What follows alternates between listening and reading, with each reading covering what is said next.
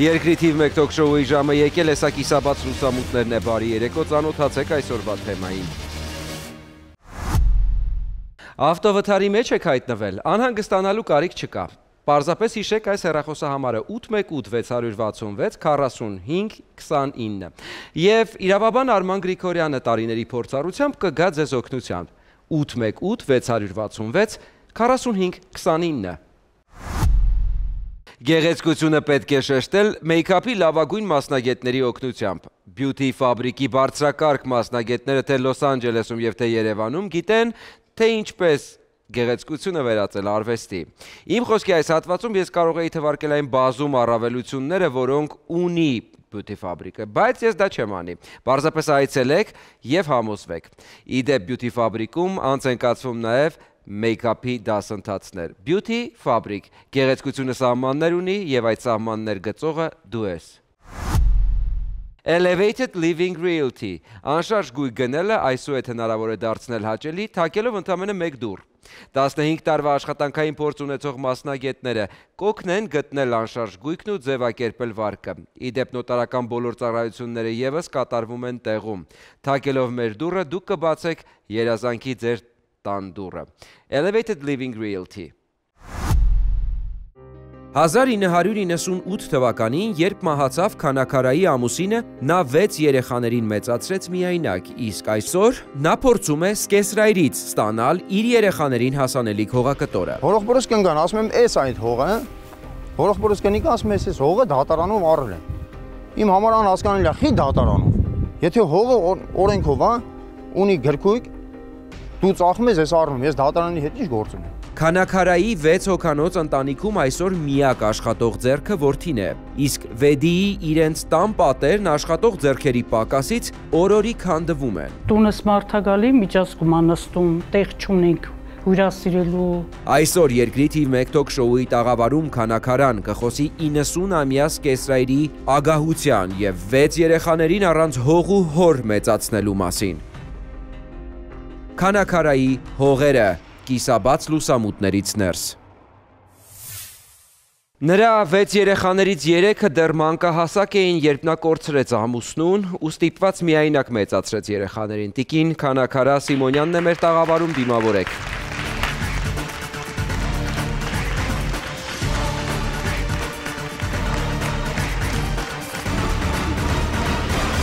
Բարի երեկո, համեցեք Տիկին Քանաքարա։ Որ տարիքում եք կորցրել ամուսնուն։ 35 տարեկանի 42 տարեկան ամուսինս էր։ Դե Ու արդեն ծնված էին ձեր 6 երեխաները, հա, հա, երեքը մանկահասակ։ Հա, 5 աղջիկ մի տղա ունեմ։ Աղջի ամուսինս գնաց գործի եկավ, գիշերվա 3-ին ինֆարկտ տվեց, կայծակնային ինֆարկտ էր։ 42 տարեկանում։ 42 տարեկան, ես էլ 35 տարեկանի եմ։ Այտենց կեսրած մահացավ այդ գիշերն, վերցես տարավ իրանց տուն, թաղում են իրանց տնից, ամեն ինչ իրանց տնից այլ է։ Հետո կիսուրս ասեց Գայան ջան, ես երկու անուն ունեմ, կներեք։ Ինչպես է ձեզ հարմար։ Տիկին քանակարա ասեմ, Գայան է ասեմ։ Քանակարա ասեք դուք։ Քանակարա ասեմ, հա։ լավ։ Ասեց Գայան ջան, ասեց կմնաս մեր տուն, միջև ես գնամ սար, գամ, գամ, ես իմ ձեռով քեզ տանեմ երեխեք հետ քո տունը։ Ես մնացել եմ իրանց տուն, փոքր էին երեխեքս, վախենում էի, պայմաններս այն չէին։ Մնացել եմ իրանց տուն, միջև կիսուրը սարից եկերա, մեծ տարերա մեր տուն։ Հետո ես թոշակ նպաստով էի պահում երեխեքիս։ Երեխեքն մի մեծ աղջիկս 16 տարեկան էր ամուսնացրի։ Դրանից հետո արդեն երեխեքն մեծացան, քիչ-քիչ մեծացան։ Իսկ ով էր երեխաների խնամքով զբաղվում, եթե դեր 16 տարեկան աղջիկն արդեն ամուսնացավ, այդքան դե- երիտասարդ տարիքում։ Հա, դե ով էր պահում երեխաներին բա։ Ես էի պահում, հետո որ դաշտեր աշխատի, դե մեծ է, արդեն ոչինչ։ Իրենք իրար էին Իրենք իրանց տան մեջ խելոք Խելոք իմ երեխեքը շատ խելոք, շատ համեստ։ Տիկին Քանաքարա, ձեր 16 տարեկան աղջիկան ինչու այդքան շուտ ամուսնացրեցիք, որպեսի հոգսը մի քիչ թեթևանա գուցե, հա? Դե աղջկաս ճիշտն ասեմ, հարամում էին, այսպես ասած։ Ինչա նշանակում հարամում ուզող կար, փախցնում էր, ես էլ վախեցա։ Ասի գործի գնամ, դաշտ էի աշխատում։ Դե ասեցի, չգամ, երեխես տունը չելնի, չէի սիրում այդ փախնելը։ Ասում եմ օրինական ամուսնացն եմ երեխա։ Նույն տղայի հետ։ Նույն տղայի հետ ամուսնացրեցիք, ով փորձում էր Չէ, փախ։ ուրիշ էր։ Ուզողը ուրիշ էր, բայց մեր գյուղից Մարտունու Վարդենի գյուղը։ Իսկ աղջիկը ձեր համաձայն էր իր ցանկությամբ էլ էր հա, ամուսնությունը։ հա, հա, աղջկաս Իսկ չէիք ցանկությամբ։ մտածում գուցե սովորեր երեխան եւ Չէ։ փախցնելը դա կարող է օրինական մարմիններին դիմել վերջապես անչափահասի առևանգման մասին է խոսքը գնում։ Դե չէ, գիտես ոնց, ասենք վախենում էի, մեծ վախ կար մեջս։ Ասում եմ, թո երեխես օրինական, նորմալ ընտանիք է։ Թո գնա ապրել են գյուղում, որտեղ շատ կարևոր են դիրքորոշումները եւ դա մենք պետք է նորմալ ներեգություն շատ վատ է որ գյուղում մենք դա նորմալ ենք ընդունում, որ 16 տարեկան երեխային կարան փախցնել սրտի, եւ ծնողը վախենա։ Ցավոք սրտի, բայց չենք մոռանում, որ բայց այդ թվականին իրականությունը այդպեսին է։ Արդարացնել անչափահասի ամուսնությունը դա ոչ մի բայց չունի։ Հատկապես պարոն Խոշիձյան, երբ փախուստի մասին է խոսքը գնում։ Տեսեք, օրենսդրությամբ 16 տարեկանը կարող է ամուսնանալ ծնողի համաձայնությամբ, ստեղ եղել է համաձայնություն, եթե մյուս ամուսինը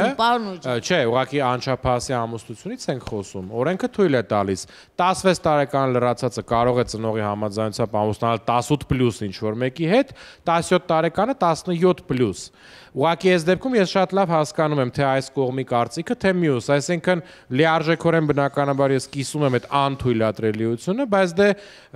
այս միայնակինը ինչ ինչպես պետքա պայքարեր այդ ավանդույթ շատ մեծ շակերտների մեջ ավանդույթ հանցանքի դեմ, ուղղակի երևի ճարչի ունեցել։ հետո ավելի շատ պայքարելու էր տարած հետ բերած աղջկա ներողություն։ Պիտակի արդեն տարածեց Մեկ վարքյան, Բայց դա արդեն եղել է, չէ՞, ոնց Կիկոսի հասկացանք ձեր աղջկան արդեն ինչ-որ մի անգամ փախցրել են։ Չէ, չէ։ Բա ով էր Նա որ ասում եք խուսափելու համար։ Որպեսի Վախեցել սպառնալիքներ Ուղղակի ես վախենում էի, որ հեր չկա։ է, սպառնալիքներ եղել է նման անգամ Չէ, չէ, ոչ մի հայտարարություններ բան կամ չի լավ, ինչ-որ։ ուղղակի- մի օր արտնացակ մտածեցիք վայ աղջկաս կփախցնի այս տղան շուտ ամուսնացնեմ այս մեկի Ուզող ուներ, Ուղղակի ուզող։ լավ լավ տղա չէր ճիշտն ասած, ես էլ չէի ուզում այդ տունը հարսեթար, բայց իմ աղջիկը, որ ամուսնացել է Մարտունու մեր Վարդենի գյուղում, ես շատ գոհ եմ։ Ինչով էիք ուզում են հասկանալ վստահ, որ անհաջող տղա պիտի փախցնի ձեր աղջկան։ Դե ճանաչում էինք։ Գիտեիք, որ փախցնողը նա է։ Ասելա, փա գալիս եմ փախցնեմ չտվեց իր։ Այտենց բան ձեզ Չէ, ասել։ չէ, չէ, դες բան չի եղել։ Որտեղից եք ենթադրել, որ հենց նա գալու էր փախցներ ձեր Դե աղջկան։ գիտեինք էլ երաշչան, գիտեինք։ Գյուղում լուրեր կային տարածված։ Միջադեպ միգուցե եղել է, որի ճակերտները այստեղ չեն բացվում։ Կամ եղել է վիճակագրություն, բոլոր գեղեցիկ աղջիկներին փողոցից այնտեղ փախցրել են, հա։ երևի Այ հենց տեսքով, էս էի ասում, հարգելի փորձագետներ, որ կապ չունի դա գյուղական համայն կլինի, քաղաքի կենտրոն կլինի, անչափահաս երեխային փախցնելը դա առևանգում անչափահասի իհարկե։ հետեւաբար հե, բռնաբարության հոդված եւ այլն եւ այլն։ Քրոջ ամուսնանալուց հետո 16 տարեկանում տան մեծը դարձավ Սոնան 15 Սոնան։ տարեկան այդ ժամանակ նա խոսեց մեր լրագրողի հետ այն դժվարություններից, որոնք եղել են մայրիկի մոտ իրենց մեծացնելու տարիներին։ Եկեք լսենք Սոնա Սիմոնյանին ձեր թվով երկրորդ աղջիկը։ Մենք փոքր ենք եղել, papas մահացել է, ուրիշ տուն ենք ապրել, որ papas մահացել է, կողքի մեր կողքը տուն ունենք։ Տեղափոխվել ենք այդ տունը լավից, վատից, ախպերս հետո փոքր ենք եղել։ Մամա վեց երեխա պահել է շատ դժվար է եղել, շատ։ Դաշտերն աշխատել, հետո մենք ենք մեծացել, մամայից օգնել ենք Չգիտեմ, վեց երեխա փոքր անհեր, մամաս պահել է, մեծացրել է։ Հիմա էլ արդեն մենք ամուսնացել ենք, ինչը կարացել է աղբերս արել է, խեղճ աղբերս ընկա վարկերի տակ, տոկոսների տակ։ Դե հիմա վերցել է որ տուն սարքի։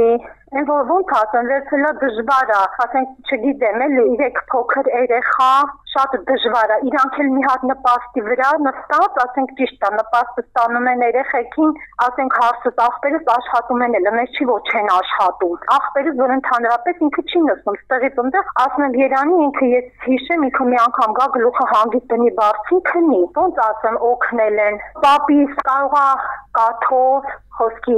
մածունով ինչ որ հա սենց կողմնակի օգնություն մենք այդ ենք տեսել ես չեմ կարա սուտ խոսամ պրոստո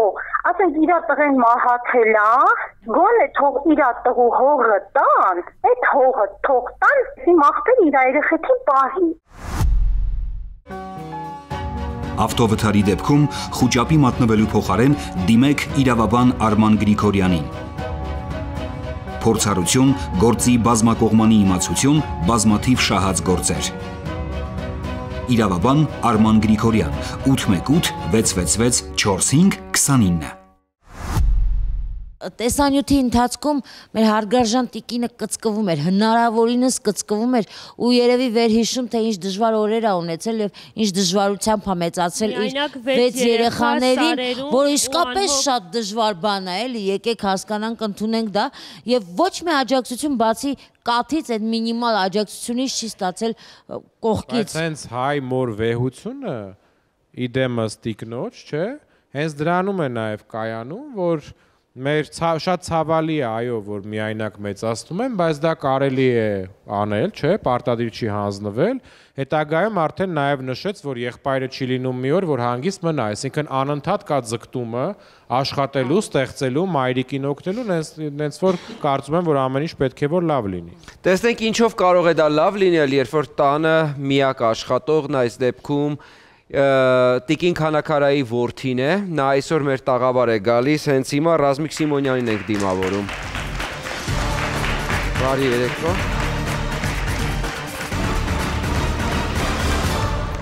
Դուք հիշում եք ձեր մանկության այդ դժվար տարիները։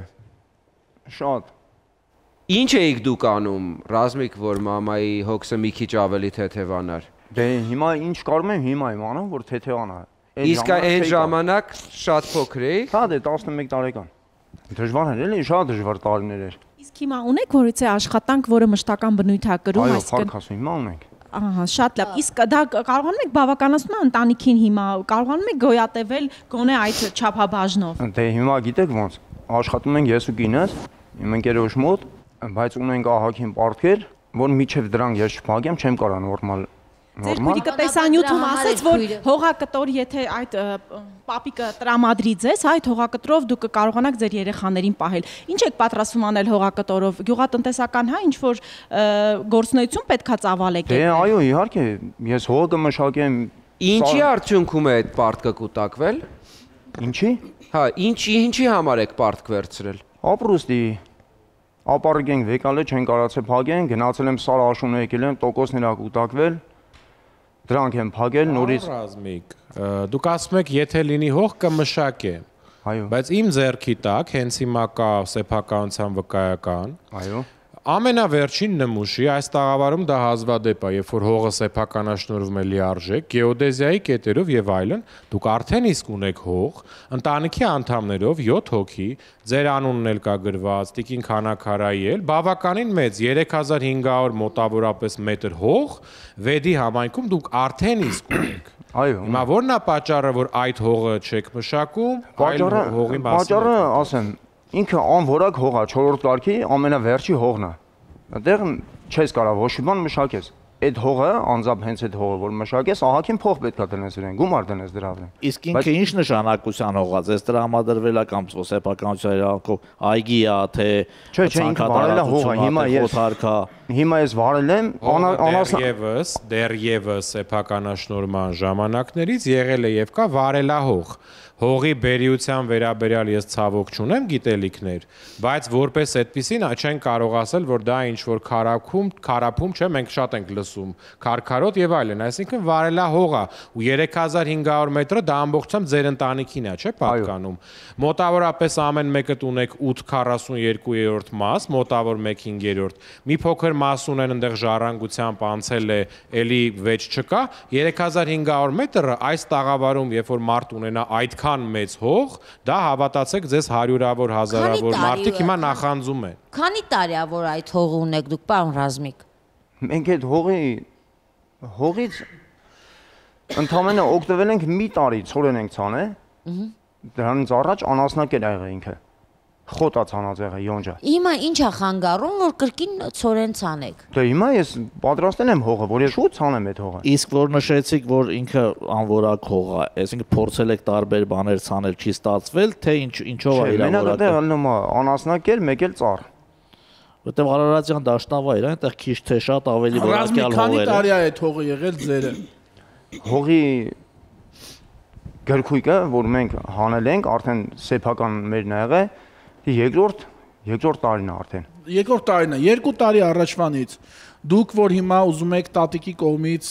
այդ վիճաբանական, հա, այդ հողերը նաև ձերը լինի, Ինչ է կարել այս հողի հետ կապված։ Ես կարծում եմ փորձագետների ամբողջ նպատակը հենց դա է։ Մենք իմանանք դուք ձեր եղածու մեջ ինչ եք ստեղծել, որ հետո ուզում եք նաև մնացածը, որը ձեր բաժինն է, հողի հարցի հետ կապված մի բան էլ ասեմ,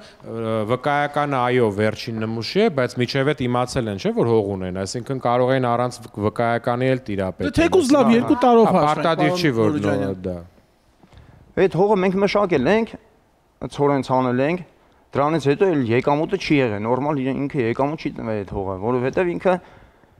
անվորակ հող է, ամենավերջի հողերն են էլի, մենակ ծառ պետք է դնես։ Գուցե ծառ փորձեք տարիներ հետո այդ ծառի բերքը պտուղը Դե հիմա ես այդ հողի վրա որ այդքան ծախս անեմ, ինքը այդ հողանց այդ իմ տված, իմ տանջանքի, իմ դրած գումարը չի տանձի։ Այդ տեսեք, մենք որպես հողից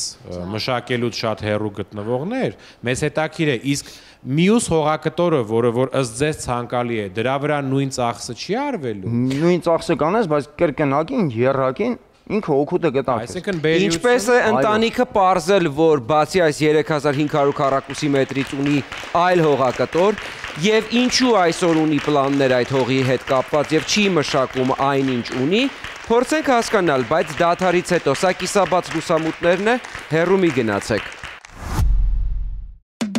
Elevated Living Realty Մեր 15 տարվա փորձը կոգնի ձեզ բացել երազանքների տանդուրը։ Փորձառու մասնագետները կգտնեն տունը եւ կձևակերպեն լոնը շուկայում լավագույն պայմաններով։ Նոտարական բոլոր ծառայությունները եւս կատարվում են տեղում։ Elevated Living Realty մեր մասնագետները կտրամադրեն նաև խորհրդատվություն թաքսերի ձևակերպման հարցում։ Թակելով մեր դուռը դուք կբացեք ձեր երազանքների տան դուռը։ Elevated Living Realty Միացեք Հրաչ Մուրադյանին սոց ցանցերում։ Հետևեք Հրաչ Մուրադյանի անձնական կյանքին եւ տեսեք եթերից դուրս իրական կադրեր, որոնք տեղի են ունենում կիսաբաց լուսամուտների նկարահանման հրապարակում։ Բացառիկ լուսանկարներ եւ տեսանյութեր։ Հրաչ Մուրադյանը Instagram-ում, Հրաչ Մուրադյանը Facebook-ում, Հրաչ Մուրադյանը TikTok-ում։ Գրեք, քննարկեք, խոսեք ու առաջինը տեսեք այն, ինչը Հրաչ Մուրադյանն է պատմում իր մասին։ Հրաչ Մուրադյանի կյանքը կիսաբաց բաց լուսամուտներից ներս ու դուրս։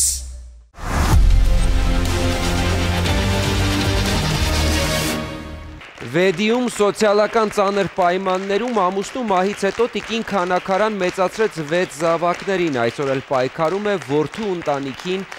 ապրուստի միջոց գտնելու համար։ Սա կիսաբաց լուսամուտներն է, մենք վերադառնում ենք հերոստատեսային տաղավար հիշեցնելով ձեզ։ Մեզ մոտ հայտնված ընտանիքներին դուք հնարավորություն ունեք օգնելու։ Այցելելով մեր պաշտոնական կայք կատարելու համար առցանց նվիրատվություն կիսաբացլուսամուտներ.com կամ պարզապես կապվեք մեզ հետ Viber ու WhatsApp հավելվածներում։ Տիկին Քանաքարա, ինչպես եք ողրզել, որ բացի այդ 3500 քառակուսի մետր հողը ունեք այլ հողակտոր։ Եվ երբ ուրեմն ես գնացի դե նպաստ էինք ստանում ամեն տարի պիտի թարմացնենք թղթերն գնացի քաղաքապետարան պիտի թուղթ տանեմ մեր տես այդ նպաստի տե փարոսի տեղը հետո ընդեք քարտուհարուին խփեց թուղթը որ պիտի տա տանեմ փարոս ասեց քանակար ջան ասեց 9000 մետր հող կա ամուստու տանունով ասի հնարավոր չէ ջուլիկ ջան տեսփան չկա բա չէ քանակար ջան, հեսա նայի կա 9000 մետր հող կա։ Իսկ մինչև այդ րոպեն, երբ որ ձեզ տեղեկացրեց քարտուղարուհին, որ դուք ունեք 9000-ի սեփականություն, քանի տարի սոցիալական վճարից օգտվել եք արդեն։ Թե դա առաջին տարին էր։ Չէ, դե առաջին տարին էր, որ ասես նոր իմացա։ Մինչև դա փորձ չէիք ունեցել։ Չէ, չեմ ունեցել։ Լավ։ Հետո գնացի կեսրայից ասի, ասի պապա ասեցի, սենց բանին ասում, գնացի ասի երեխեքի թղթեր ընդզելու փարոստուի համար։ Ասի ասին, որ 9000 մետր հող կա։ Ասեց դե Գայան ջան, այդպես բան չկա, սերան հող չի ստացի։ Հետո էլ ցեն չարեց Հիսուսը փոս թող եկա։ Եկա, հետո հաջորդ տարին, հաջորդ տարին դա տես թղթերը թարմացնելուց նույն բանով տալիս էին։ Իսկ սոցիալական նպաստը կարողացաք ձևակերպել այդ հողի արկայության ժամանակ, հա։ Հա, տալիս էին։ Որովհետև ընդ մեր տեսուչ ասես, քանակ աջան ասից, դու քոն ասից 3 կարգ է, եւ ծնողազուր կա, եւ անապահով է, եւ բազմազավակ ընտանիք է։ Անապահ 9000 թիվը մի փոքր չի ամընկնում դուք տրամադրել եք խմբագրությանը իրենք էլ ինձ երկու հատակագից մեկը ձերն է որը որ քննարկում ենք չէ մոտ 3500 մետր Երկրորդ հատակագիծը վկայականը ցավոք ես չեմ տեսնում, բայց ում է պատկանում, բայց մակերեսով դա եւս 3400 քանի մետր է։ Այսինքն, եթե շատ խիստ կլորացած գումարենք, երկու թիվը 7000 է կազմում, 9000 որևէ կերպ չի կազմում, այսինքն 2000 մետրի ահագին տատանում կա։ Դա ո՞նց է բացատրվում։ 2000-ը որտեղից է, այսինքն որտեղ եք պատկերացնում, ուր է ֆիզիկապես այդ հողը։ Տան, տնամերձն է, տունն է։ Ահա։ Տան, որտեղ որ սարքվել է տունը։ Որտեղ հիմա դուք ապրում եք։ Այո։ Մեր նկարահանող խմբի հետ դուք եղել եք նաև այն հողակտորում, որի համար այսօր պայքար եք մղում։ Եկեք նայենք, հենց դուք եք եղեք ռազմիկ, նայենք էկրաններին։ այս հողը երկու անգամ արդեն չափում են, այս մի ռյադ մեծ ծիրան էլ անգնում այս հողի մեջ։ հողը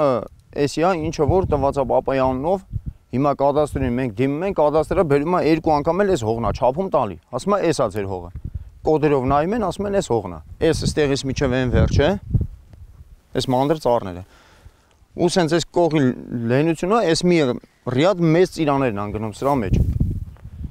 Էս մասից էլ ստե ճանապարհից մտած է, էս մի ռիադ համերը մի 10 ծառը, սենց ճանապարհի հաշվին է դրանց։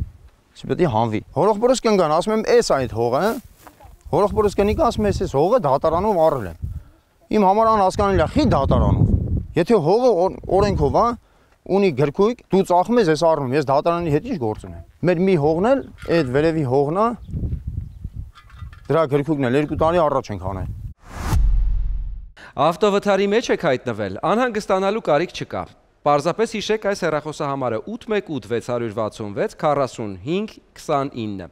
եւ իրավաբան Արման Գրիգորյանը տարիների փորձառությամբ կգա ձեզ օգնությամբ. 818 666 45 29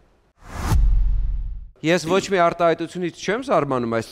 տաղավարում, բայց դատարանից հողակտոր գնելը ոչ մի ձև չեմ կարողանում հասկանալ։ Նույնն էլ ես չեմ կարողում հասկանալ։ Սովորենք ինչպես կարելի է գնել դատարանից գույք։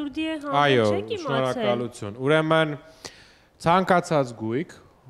երբ որ կամ պարտքեր եւ այլն, դատարանը կարող է կայացնել վճիռ օտարելու հրաապարակային սակարկություններով կամ կարող է գույքը հա դատարանի վճռի հիման վրա օտարվել հարկադիր աճուրդով, այսինքն որպես այդպիսին անկախ սակարկության ու աճուրդի այդ ընկերությունից հիմքը դատարանի վճիրն է, այսինքն դատարանը ասում է վճռել, գույքը վաճառել սակարկությունից։ Ումից է գնել ձեր հորեղբոր կինը ուրեմն այդ դեպքում։ Մյուս հորեղբորից ես, բայց Խի դատարանով ես չեմ հասկանում այդ նույն հողը։ ասեմ վարկածներ։ Նախ ստեղ մի կարևոր հանգամանք, բավականին օբյեկտիվ եք դուք տարբերակում որակը, որովհետև ձեր հողը փաստաթղթով վարելահող է, իրենց հողը դուք տեսանյութում ցույց եք տալիս, գրված է պտղատու այգի փակագծում կորիզավոր։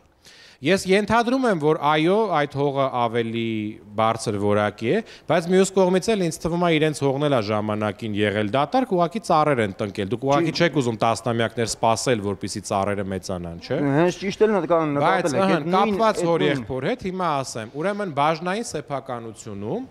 Եթե գույքը օտարվում է դատարանով, մյուս սեփականատերը ունեն գնելու նախապատվության իրավունք։ Հիմա ձեզ վրա կբերեմ օրինակը, որ ավելի լավ հասկանաք։ Դուք ունեք հիմա պարտքեր, ճիշտ է։ Եվ ունեք 8.42-րդ բաժնեմաս, մոտ 1/5-րդ։ Եթե ձեր այդ գույքը բաժնեմասը ցանկանան դատարանով, ինչպես որ ասվում է, վաճառել, ձեր մայրը կամ մյուս սեփականատերերը ունեն գնելու նախապատվության իրավունք, կարող են գումարը տալ եւ գնել, այսինքն հնարավոր է որ այդ կինը ով ասում է ես գնել եմ դատարանով հորեղբորը բաժինը հորեղբայրը ունեցել է պարտքեր նա նախապատվության իրավունքով գնել է ստեղ բավականին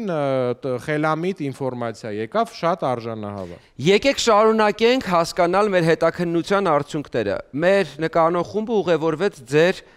սկեստրայրի տուն, ձեր պապիկի տուն։ Պարոն Գարսևանը մեզ մենակ չդիմավորեց, այնտեղ էր նաև ձեր Տեքոր կինը Լուսինե Արշակյանը, եկեք լսենք նրանց։ Բոլորս մենք յալից շատ սիրով ու կապված ենք, ոչ մի խնդիր չունենք։ Ինքը իրան իրան ոչ մեկի հետ կապ չունի։ Մեկն ա վատ, երկուսն ա վատ, երեքն ա վատ, չորսն ա վատ։ Դաժե այն աստիճան, որ ամուսինս ասում է, ես թքած ունեմ հողի վրա։ Ինքը գա, ես իմանամ, եթե ինքը հող մշակող է, մի հողը բարադի թողելը ճանապարհ է։ Ինքը չի մշակում։ Ուրիշները մեքենայի տեղ է եկել, գնում են գալիս են։ Ասում եմ, եթե իմանամ ինքը հող մշակող է, իմ աղբորս խաթր այդքան վեց երեխա ունեցի ամեն ինչը արել է, այդ մի հողն էլ կտամ կասեմ գայան, որ մշակում է տար մշակի,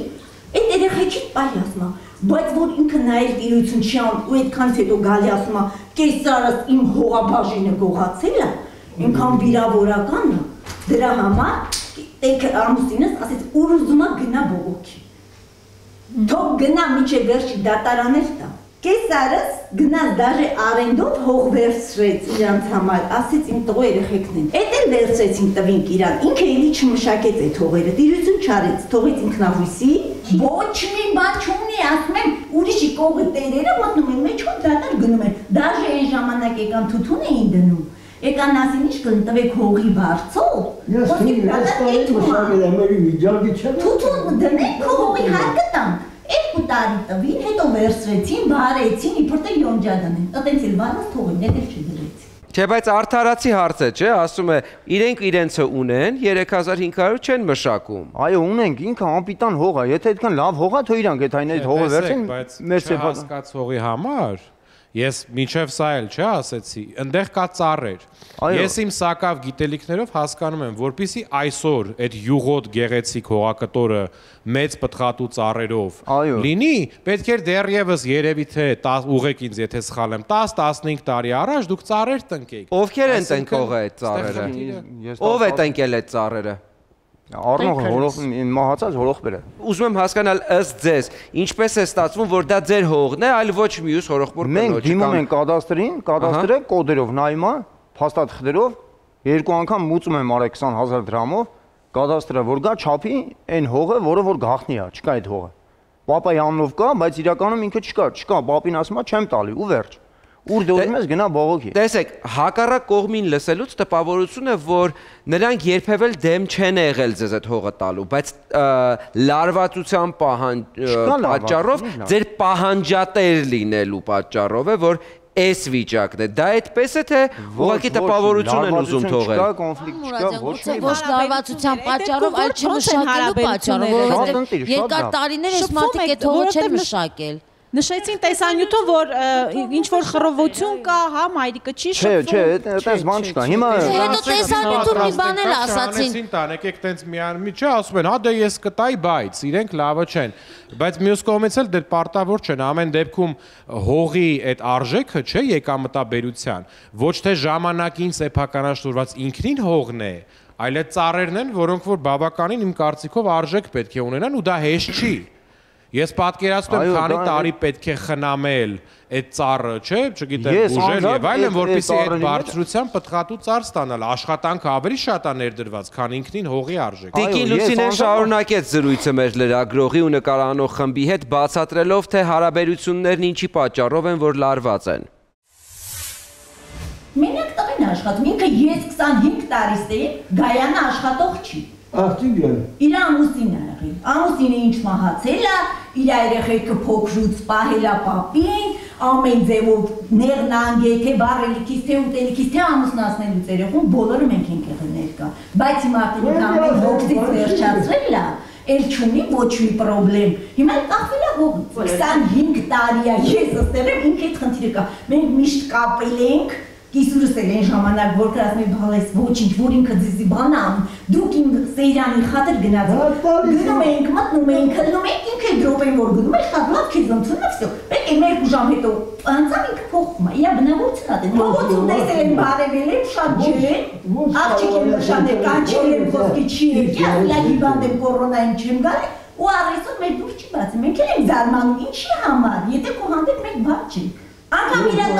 տղեն կարելի ասել նստան միլիցիայցում իր անգամ աղբեն 1000 դրամ չօգնեց, որ ասել եթե մի անգամ 1000 դրամ տամ, քոտոյի երկրորդ անգամ էլ կան, էդի աղբերն ասեց։ Իսկ իմ ամուսինս ասում էր, Լուսինը ասում էր, որ հանգած իմ աղբորս տղեն նստեց ինձի պատիվ չի ասում էր։ 1000 դոլար ուզեն կտամ, երկու տունս է կծախեմ, մենակ աղբորս տղեն չնստի։ Գողություն է դա։ Beauty Fabric-ն արվեստանոց է։ Գեղեցկություն ստեղծելու արվեստանոց։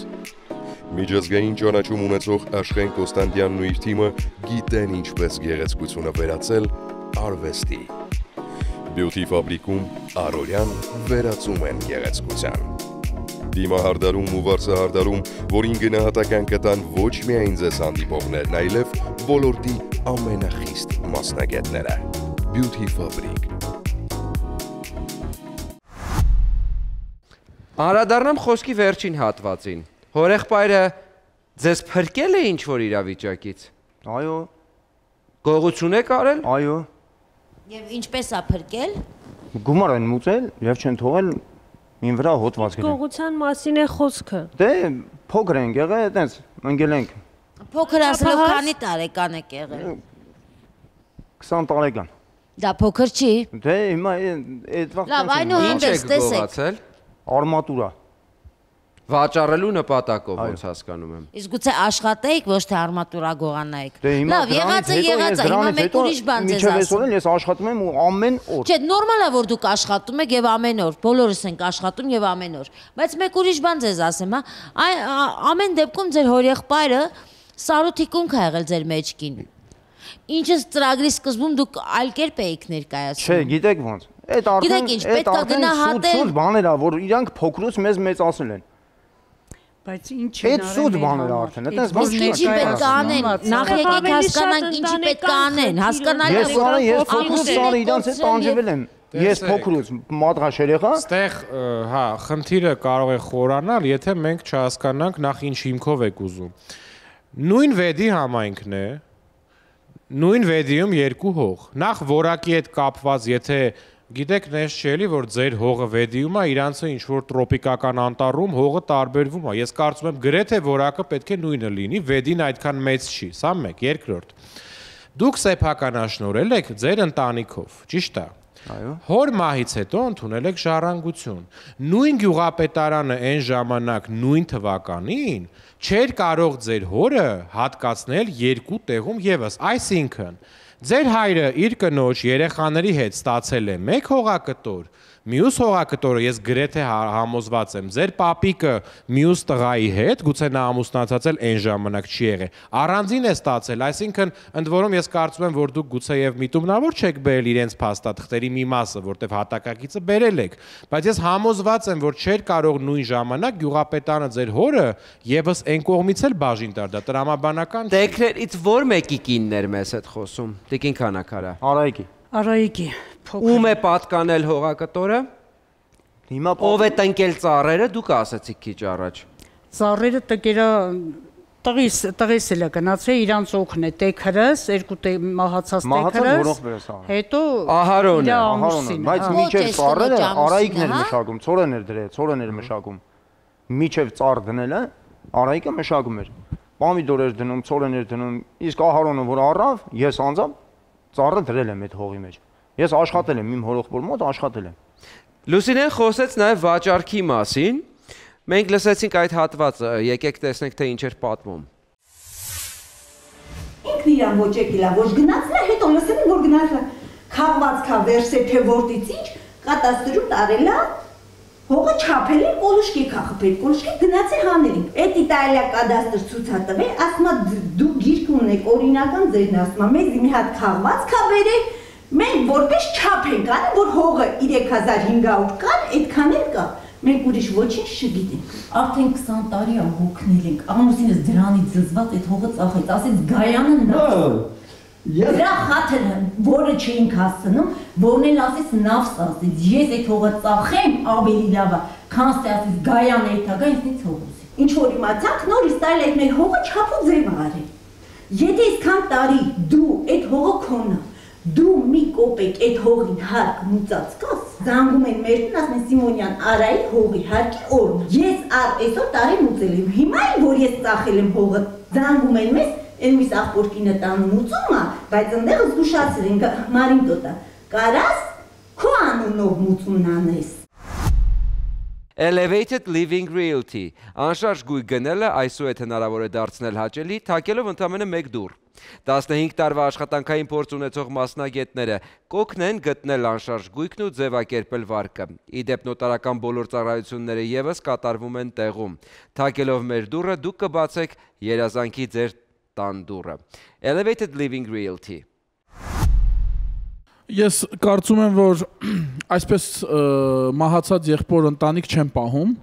որ դեմից ասեն, որ սկզբից իրենք են պահել, հետո ասեն զզվեցին, թողեցին մեզ։ Գիտեք,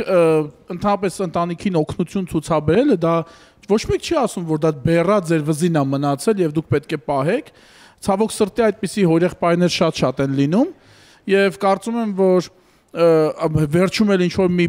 իրավիճակում տղան փորձի իր իրավունքները պաշտպանի, միանգամից երեսով տան թե ինչ լավություն են արել։ Տղա է եղել 20 տարեկանում խնդիր է կամ չգիտեմ, երիտասարդ են եղել, մի սխալը թող արած լինի։ Հետո սխալ չի սխալվում կամ ոչ մեկ սխալվելու իրավունք չունի։ Մասին չի այդքան խնդիրը, խնդրում եմ լսեք ինձ ու կարողանաք պատասխանել։ Ոչ, տեսեք ինչ եմ ասում։ Եթե տղան 20 տարեկանում հորեղբայրը կանգնել է թիկունքին, նա երեսով չի տալիս։ Պարզապես տղան հենց ծրագրի սկզբից չի հիշում այդ մասին։ Ինչի պիտի չէ։ Իսկ ով դրա մասին հիշեց։ Հիշեց տիկինը, երբ որ պետք է եկավ։ Վերջ։ Բայց ինչի հիշեց։ Որովհետև տղան ուզում է երկրորդ հողը, որը նույնպես լավ է անում։ Ինչի է լավ անում։ Որովհետև իր բաժինն է ուզում, որովհետև ինքը բաժին ունի Ինչով է համոզված որ դա իր բաժինն է։ Դա է տալի։ Ով ասաց որ դա իր բաժինն է։ Ամեն դեպքում չեն ասում զզվծրեցին։ Որ բաժին կա այնտեղ։ Հիմա տեսեք, ին վարկածը ես 100%-ով եմ վստահ, որ սեփականաշնորհման գործընթացում ձեր հայրիկին երկու հատ հող չեն տա։ Լավ, ընդունենք դա կասկած։ Հիմա պատկերացրեք, որ եղբայրը 3 կտորել են տալի։ Չունեն իրենք հավակնություն ու գալիս են պատրաստի իրենց մշակած չարչարված ծառերը ուզում են։ Որ իրավունքի համար աստեղ պայքարը։ Պանո ջան, դա հարցի, երբ ասեմ ձեզ, դուք շատ իրավացի եք։ Ես դա հարցի մյուս կողմն է, բայց որ ընտանիքը իրեն ներկայացնում է։ Տեսեք, երկու տեսանյութ են տեսնում վիրավորվի, եթե ես այսպես գամ, ասեմ, քո ստեղծած տասնամյակներով չարչարվածը պետքա 10 ինձ պահանջա իրական։ Դա պետք է իրենց հարցեր լուծեն, ոչ թե ինքնահոսի թողեն։ Տեսեք, այդքան տեղներ է իրենց մեղավորությունը, ինչի համար։ Ընտանիքին թողել են, ինչ կանեք, կանեք։ Պապիկը ինչ է ասում։ Նրա արդարացումը կամ նրա պատճառաբանությունը ո՞րն է, որ դուք չունեք այդ հողակտորը, որ ժամանակին, ինչպես ձեր տեքրերը, այնպես էլ ձեր ամուսինը պիտի ստանային, բայց չի ստացել այդ հողը իմ ամուսինը ստացիր է։ Հողը ստացիր է ինքը նախ ինքը Լուսինե ջան դու շատ սխալ բաներ ես խոսում։ Ես ձեր սկեսրոջ պատասխանն եմ ուզում լսել։ Նա ուներ հստակ դիրքորոշում, ճիշտ է։ Հստակ ինքը պնդում է, բայց քաղաքապետի մոտ ես գնացի առաջ։ Ո՞րն է նրա պնդումը, ինձ կասեք։ Չկա, Սեյրան հող չի ստացել։ Ինչի։ 91 թվին չի աշխատել։ 91 ես։ Բայց 91 թվին հողերը բաժանել են։ Սեփականաշտորվան հանձնաժողովը 91 թվականին ձեր հորը հանգուցյալ, ձեր ամուսնուն եւ ձեզ հատկացրել է 3500 3496 մետր հողամաս։ Նույն հանձնաժողովը դժվար թե այդքան անուշադիր լիներ, որպես ընտանիք է հատկացրել։ Դժվար թե ձեր հորը ներառել այլ ընտանիքում եւ տար։ Այսինքն պարոն Նուրիջանյան, կներեք մի բան ասեմ, ուրեմն այդ ժամանակ 90-ականների սկզբին, որտեւ իմ հայրն էլ աստացել եւ տնամերձեր ընտանիքին հատկացնում եւ վարելահողեր հատկացնում, նաեւ լինում էր երրորդը եւ այգի։ Սա երկուսը գյուղատնտեսական է, նորից եմ ասում։ Չունենք որևէ հիմք ենթադրելու, ունենք հակահիմք ենթադրելու, որ չէր կարող լինել նման բան։ Այսինքն, եթե մենք ծեծում ենք փակ դուր, իմ պրակտիկայում ես այդպես եմ ապրում։ Ես իմաստ չեմ գտնում կոտրել, ծեծել փակ դուրը։ Կարելի է ընդունել ինչ որ փաստ, շարժվել դրանից։ Որն է իմաստը ստվերի հետ կռվելու։ Կադաստրային գործում ես նորից եմ ասում, ես չեմ ասում ինչի, բայց դուք տրամադրել եք խմբագրությանը իրենց քարտեզը, այստեղ է Դուք հաստատ, եթե սա ունեք, դուք նաև ունեք իրենց վկայականը, բայց դա չեք բերել։ Ինչի չեք բերել։ Ես կարծում եմ, որ նույն ձև այդ վկայականում կա մյուս ընտանիքի անունները այսպես գրված, ձերը չկա։ Մենք այդ հարցի պատասխանը լսել ենք, պարոն Նուրիջանյան, ու ոչ միայն այդ հարցի պատասխանը հակառակ կողմից։ Վերջապես կլսենք նաև այն մարդուն, ում պատկանում է այդ հողակտորը։ Դաթարից հետո հերումի գնացեք։ Գեղեցկությունը պետք է շեշտել մեյքափի լավագույն մասնագետների օգնությամբ։ Beauty ֆաբրիկի բարձրակարգ մասնագետները թե Լոս Անջելեսում եւ թե Երևանում գիտեն, թե ինչպես գեղեցկությունը վերածել արվեստի։ Իմ խոսքի այս հատվածում ես կարող էի թվարկել այն բազում առավելությունները, որոնք ունի Beauty Fabric-ը, բայց ես դա չեմ անի։ Պարզապես այցելեք եւ համոզվեք։ Իդեպ Beauty Fabric-ում անց են կացվում նաեւ մեյքափի դասընթացներ։ Beauty Fabric գեղեցկությունը սահմաններ ունի եւ այդ սահմաններ գծողը դու ես։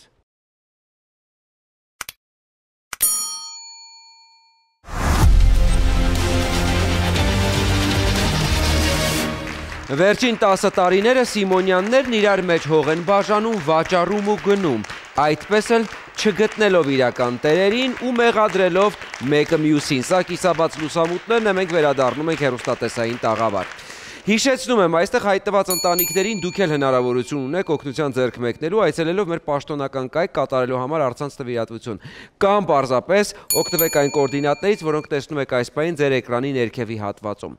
Իդեպ մենք հակառակ կողմին վերջապես լսելու նպատակով փորձեցինք հասկանալ իրավիճակը մեկ այլ մարդուց։ Մարինե Սիմոնյանն է մեր հարցերին պատասխանել։ Ձեր մյուս տեքորկինը։ Այդ հողի կողքը իմ հողն է, նոր իմ հողի կողքը դա Դավիթ կա, դրա հողն է, բայց դա իր ամուսնուն են Վարդկեսարս վերցրեց իր անունով, որ ինքը չի աշխատել կոլխոզը այդ թվերին։ Ձեռից այդ հողը առան տվան իմ կողքի հարևան Դավիթին։ Ես էդի 100% հիշում եմ էլի։ Արայիկն էլ այդ կռիվների համար, այդ բաների համար, պատմությունների համար ինքը զզված ծախում էր։ Ես որ մարդ չմտներ իմ կողը, դա ես եմ առել այդ հողի։ Հողի վկայական իմ ձեռն է, իր արայի առաջվա կինն է գրած մեջը։ Առաջվա կնգամոն վախտով է ինքը ստացել այդ հողը։ Երեխա չունենալու համար ինքը բաժանվել է։ Բաժանվելու դեպքում իրան 1000 մետր տնամերձ է եղել այդ արայիկին։ Տվել են այդ կնոջը ինքը որ այլ բան չի ուզել, ես ես դրա համար այդ պատմության համար գնացել եմ կադաստր։ Ասել եմ ինձ ասեք, այս հողը ումնա ես ումից եմ առել, որ եկել են հողը չափել են, իմ հողը չափել են ըտեղ էլի։ Իրանք ասեցին սա Արայիկի հողն է, մեջն եմ կարդացին, որ վճիռ է գրած։ Ես հիմա ասեմ, խիչ եմ փոխում։ Այդ Սիմոնյանը պիտի փոխեմ։ Ես քաղաքապետարան խոսացել եմ, որ իրանք այդ ազգանունը, որ կեսրարս տվել է, հարսի ազգանունը։ Հիմա ինք պիտի դավերնս բերենք, որ այդ կինը ասի, որ ես ուզում եմ այդ հողը ծախվի։ Ձեզ համար հասկանալ էր, պարոն Նուրիջանյան, տիկնոջ բացատրությունը։ Գիտեք, ես մեծամասամբ այսպես ստիպված եմ գուշակել, բայց պրակտիկայից ելնելով, այո, ընդ որում հողի մակերեսներն էլ են հուշում, որ ամեն մի ընտանիքին առանձին առանձին է տրվել հողամասը։ Չէ, ինչի օրինակ 3.5 3.5 հազար մոտավոր, այսինքն այն ժամանակ 90-ականներին բավականին շատ է հողը եղել, ծխամացյաններում ամեն մի առանձին ընտանիքին հենց այդքան շատ հատկացրել է։ Ու այս դեպքում ես ռացիոնալ չեմ համարում այսպես այդ շողքի հետ կռվելը, հիմք առանձնապես չեմ տեսնում, բայց սակայն նաև ամենակարևորը 3500 մետր հողը։ Վեդի համայնքը ոչ սահմանամերձ է, ոչ ինչ որ, չգիտեմ, անհասկանալի գոտի է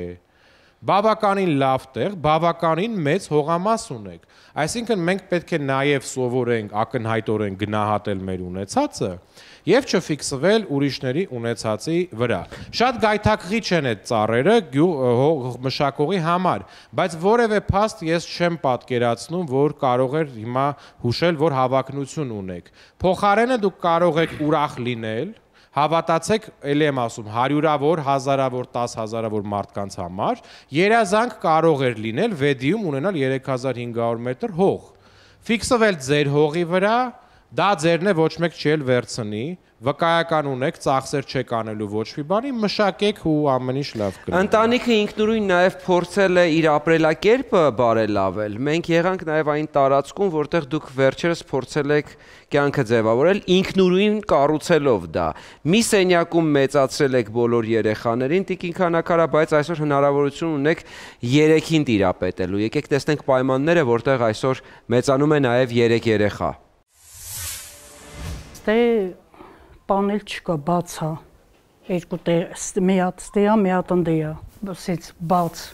ստեպտի հյուրասենականեինք, չենք կարա, չենք կարացե սարքենք։ Ամուսինս 98 թվին մահացել է, մնաց կիսասարք սենց։ Չենք հասցնում, մի հատ նպաստ ենք ստանում, հազիվ այդ մի նպաստով երեխեքին ենք պահում։ Պատերը լրիվ քանդած։ Հոսանքներն տան վրով գնում է, սենց վտանգավոր է, անձրևի ժամանակ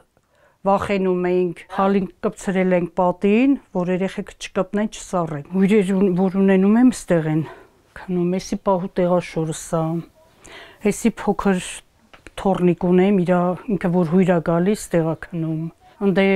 բաց ցուրտ սառնամանիկ խոնավ դուրը լուսամուտ բաց եմ անում որ գոնե օթափողվի մի քիչ էլաց գոնեն էլացը չփչանա այս կրանտն է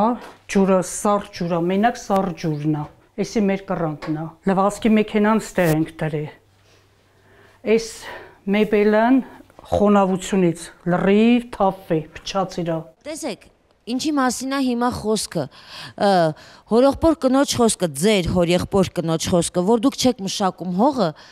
այն դեպքում, երբ որ կարող եք մշակել եւ օգուտ ստանալ, ինչ որտեղ իմ մոտ հավատ աներ շնչում, ինչու, որովհետեւ նայելով այն տունը, որտեղ որ դուք ապրում եք եւ լինելով այդ տան տղամարդը, դուք անգամ այդ հոսանքի լարերը չեք փորձել լուծել, մցնել, ավելի ապահով դարձնել ձեր տունը։ Այսինքն այն տղամարդու աշխատանքը, որը դուք պետք է անեք, դուք անգամ դա չեք արել։ Գուցե ձեր ժամանակը հոսանքի եթե չեմ հասկանում հոսանքից, ես ոնց մոտիկանում։ Դուք չեք հասկանում, բայց հասկացողին կարող եք տղամարդ եք, հարևան եք, բարեկամ եք, ընկերա, ծանոթա, բերեք, ասեք, ընկեր ջան, օգնես հոսանքը, հասկանում եք ելքա պետք գտնել։ Հիմա ամեն ինչ պատճառաբանություն կարող են գտնել եւ ասել, ես չեմ կարողանում, ես ես էլ չեմ կարողանում ծորակ ներողություն, ես լինելով կին ծորակ սարքել չգիտեմ, չգիտեի, բայց հիմա գիտեմ, որովհետեւ ելքս դա է եղել։ Ես ֆիզիկապես շատ ուժեղ աշխատում եմ Լավ է դառնում, դա նորմալ է։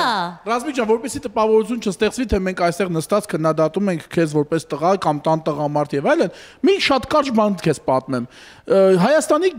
Հանրապետության գյուղերից մեկում մենք 90 91 թվականին ունեցել ենք 600 քառակուսի մետր հողատարածք։ Այդ հողատարածքը հորիցս հետո մենք չենք ընդհանրապես տիրություն արել, բայց գույքահարկը մուծել ենք։ Դրանից հետո պապիկը սամահացել, դրանից հետո ես իմ սեփական փորձն եմ ասում։ Այնպես ստացվեց, որ մի օր այդ գյուղից մի ընտանիք ինձ դիմում է, ես գալիս եմ այստեղ կիսաբաց լուսամուտներ որպես փորձագետ եւ տարիներ անց իրենք մտածում են, որ ես փաստաբան եմ, ինձ են դիմում, ես մի գործով որ նայեմ բերում են այդ գործը, իհարկե պետք է տայի ընկերներիս։ Եվ տեսնեմ ինչ, մեր հողը սեփականացնողն է